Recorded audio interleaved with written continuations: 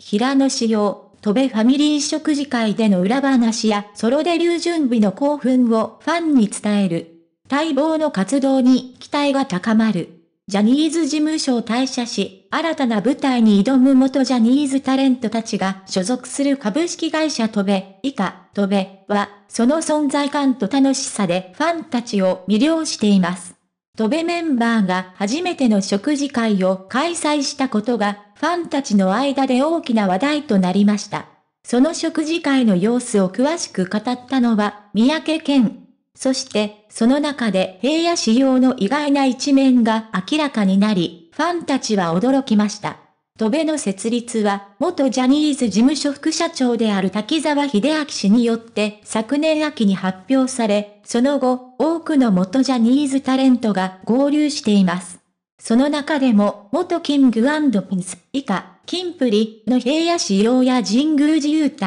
元ジャニーズ JR 内ユニットインパクト大勢のメンバー7人現在は、イムップとして活動、元ジャニーズ JR の大統立期が注目のメンバーとして加入しました。戸部メンバーが初の食事会を開催したことが、ファンたちにとって待ち望まれていた瞬間でした。三宅健は8月20日に自身の X、旧ツイッターアカウントで、こんにちはとべ勢揃いで初のご飯会、何着ていこうかな、と投稿し、ファンたちは興奮しました。コメント欄には、いつかご飯会の話を聞けるのを楽しみにしています。初のご飯会いいですね。またお話聞かせてください。と期待の声が寄せられました。そして、その続きが22日に、三宅が自身の YouTube チャンネルで行われた生配信で明らかになりました。スタッフが視聴者に向かって、視聴者の皆さんがすごく聞きたいあの話、言っちゃいますか？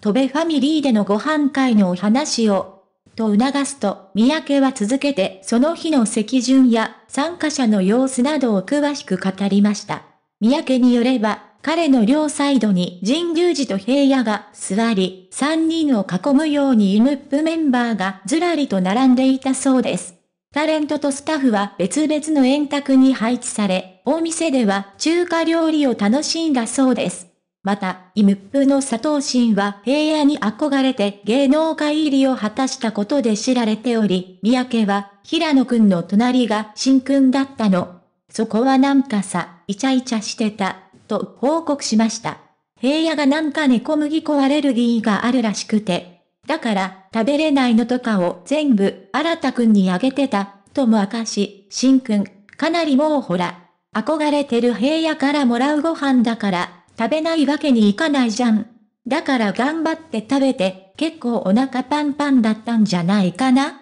と裏話を披露しました。生配信中、視聴者からのコメントをチャット欄でチェックしながら、三宅は小麦粉アレルギーについて言及しました。小麦粉アレルギーってでも結構いるみたいだ、ねいや、から大変だと思う、よと同情し、そして平野がグルテンフリー気をつけているって言って、宝食べに連れて行ってあげたい餃子と、傘あるんだけどさ、皮に小麦粉が使われている。餃子もダメじゃん、と残念そうな様子も伝えました。三宅曰く、平野は小麦粉系が入ってないやつを食べていたとのことで、僕はね、蕎麦粉のアレルギー。平野もそうだって言ってた。確か、とも話していました。一般的にグルテンフリーとはグルテンを含む食品を避ける食生活を指します。アレルギー症状の出る人は小麦粉を使ったパンは摂取せず、代わりにベーコナを使ったものを口にするケースも。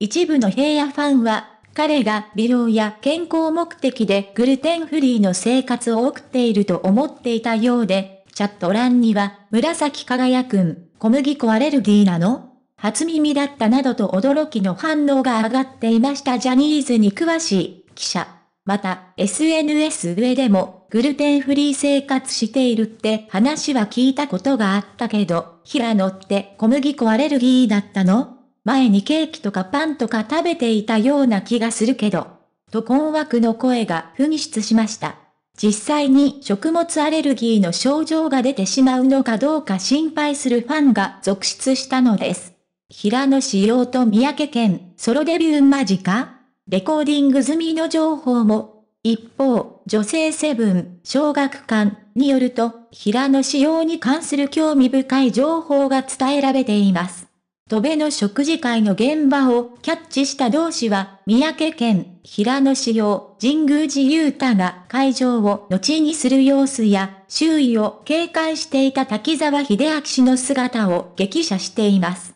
また、同志によると芸能関係者は、滝沢さんの旗振りのもと、平野さんはソロ曲が完成してレコーディングも済んだようです。三宅さんもミュージックビデオの撮影が進んでいて、二人ともソロデビューが近い、とコメントしています。また、イムップが8月18日にデジタルシングル、クルージンをリリースし、世界同時配信デビューを果たしました。戸部からのデビュー第1号となった彼らに続くのは、平野志陽と三宅健のどちらなのか、今後の戸部の動向に注目が集まっています。さらに、今月末でジャニーズ事務所から離れる北山博光や、9月末に退場後合流が確実視されている元金プリ岸優太も渡米の動向に注目が集まっています。これらの出来事は、元ジャニーズタレントたちの新たなステージへの道のりを示しており、彼らのファンたちにとっても注目すべき興奮をもたらしています。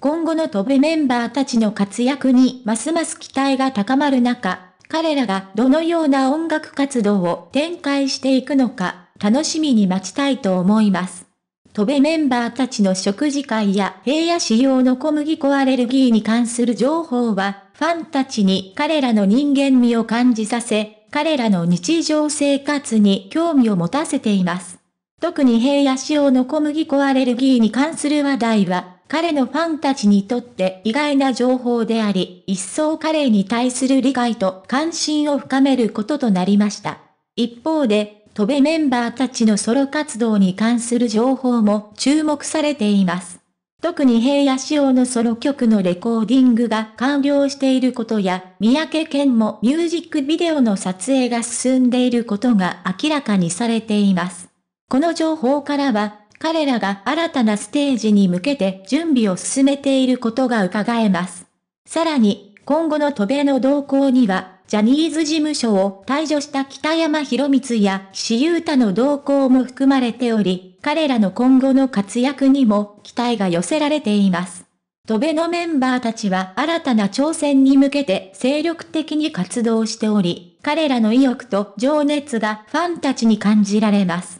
彼らがジャニーズ時代とは異なる道を模索し、新たな可能性を追求している姿には、多くのファンがエールを送っています。今後も飛べメンバーたちの活動に注目が集まることは間違いありません。彼らの成長と成功を見守りながら、彼らがどのような活躍を見せるのか、楽しみに期待したいと思います。最後に、彼らの今後の音楽活動や新たなステージでの成長についての報道には、偏りなく注目し、ファンの方々に最新の情報を提供していく姿勢を大切にしていきたいと考えています。彼らの活躍が多くの人々に勇気と希望を与えることを願っています。その他、戸部メンバーたちの活動や情報についての最新情報は、公式の SNS や公式サイトなどで随時更新されているので、ファンの皆さんは定期的にチェックすることをお勧めします。